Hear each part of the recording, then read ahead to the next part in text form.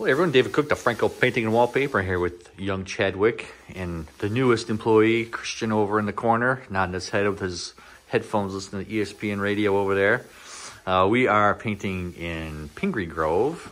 Uh, so you can see the color that it was is off brown, whatever color it was, I don't know. So we're like West Highland white, I think this is the color that got picked for the walls. Uh, white is definitely a trending color. We can we can say trending. Uh, I don't want to say popular, but we're getting a lot of calls for painting white again.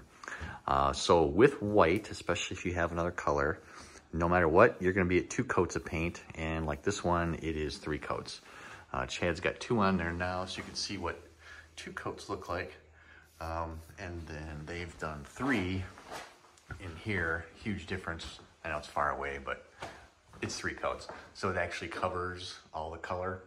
Uh, so if you are planning to go to a white, and pretty much doesn't matter what color because we've been doing light grays, off grays, reds, browns, minimum three coats of paint if you're gonna go to white on your walls.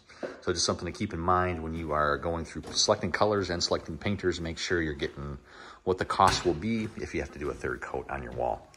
Uh, if you got questions on other colors that may cover, um, I would say at least on a color chart, don't pick the very top one. There's usually five, do the second color, and usually those will cover in two. But understand if you want the lighter, brighter whites, um, you're gonna need two, two coats to cover, three to make it go away, four sometimes to make it work good. Uh, we did Simply White, Chantilly Lace, uh, the job before this, and it was a mid-tone gray, and we took four coats of paint on that one. So just to kind of keep that in mind. Uh, if you've got questions on painting in your house, ceilings, walls, cabinets, wallpapering, and Chadwick with the wallpaper, uh, let us know. Love to see how we can help you love the space you're in. You guys have a great day and God bless.